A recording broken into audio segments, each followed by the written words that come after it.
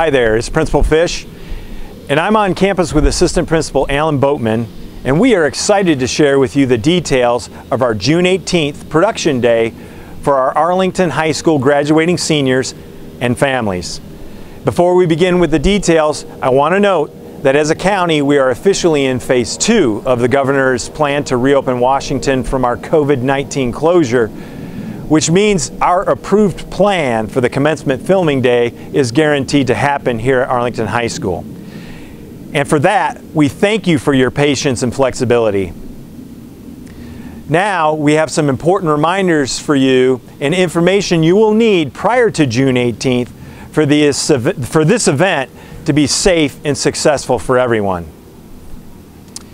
Prior to June 18th, our, sen our seniors will need some key items that our staff will be providing every graduating senior on Friday, June 12th between noon and 4 p.m. Please make sure your student picks up a packet from Arlington High School this coming Friday between noon and 4. Information was provided in the June family newsletter and will also be available on our website. Also, please remember these key items for June 18th. If you are sick or exhibiting symptoms, please stay home. If you are at high risk for infection, please stay home. Only three people will be allowed to arrive on campus on June 18th for production day. A graduate and two family members. We are sorry, but there can be no exceptions. Also, personal protective equipment is highly recommended. You can always remove your face mask before you cross the stage.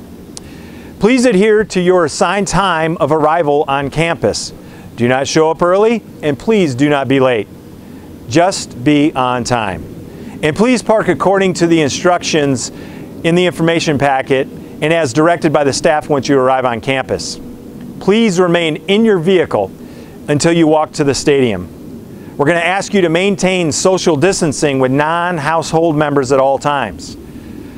Once you've received your diploma cover and your photo has been taken, please return directly to your car and exit the parking lot as directed.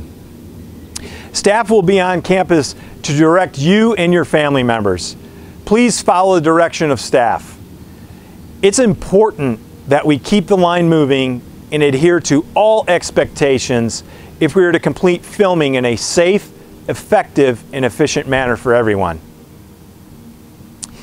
Now let's take a look at how you will park and enter the stadium, social distancing line, and those types of things prior to receiving your diploma cover. On Friday the 12th, when seniors pick up their graduation package, each student will have an assigned group number, with a time of arrival at AHS, a parking zone placard that will be colored for your dashboard, an index card to record your name with a proper pronunciation for the announcer, and an assigned number for the social distancing line for you and your family to occupy as directed by the staff. This will all make sense to you when you show up. Now, let's take a look at social distance line at the stadium and what it will look like. Graduates, please make sure your index card is filled out with your name listed, the proper way to pronounce it, and any address change you may have for your diploma to be mailed to you later this month. All families will walk from the parking lot to the north sidewalk along the stadium uh, tennis courts and into the gates behind the stadium. We will have staff here to guide you. Once behind the stadium, you will find your assigned number that will be clearly marked by a cone. These spaces are staged 10 feet apart to ensure we maintain social distance from other families. Once you arrive at the gate nearest the track and closest to the stage, you will hand your index card to the announcer who will read your name.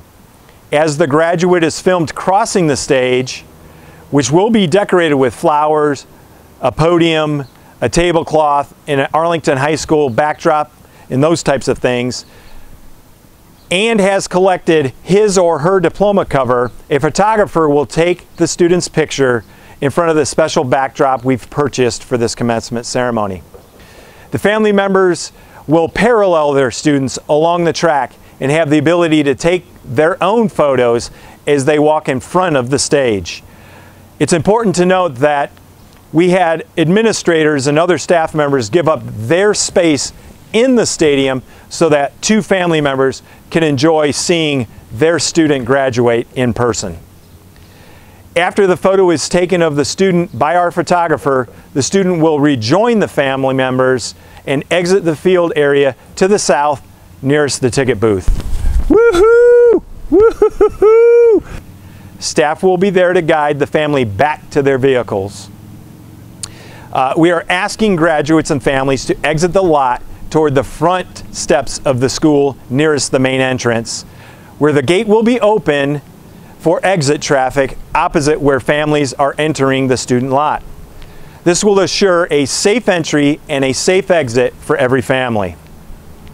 Providing we adhere to all the expectations of social distancing and efficient pedestrian and traffic flow, families will spend 15 to 30 minutes on campus for this entire process. The one thing I will add is we have a lot of walking on this day and so parents and or students if you um, the, of those of you who are coming up to campus, if you need any assistance at all, please email or give uh, Boatman, myself, a call uh, as soon as you can, and then we'll make sure that we have some uh, means to help you with our little golf cart.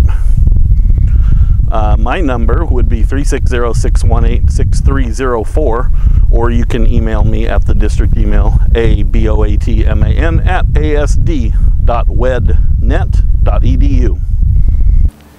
Thank you in advance to every family and graduate for following these important steps toward a successful commencement ceremony for the class of 2020. Congratulations, everyone. We will see you all very soon. It's time to fly, Eagles fly.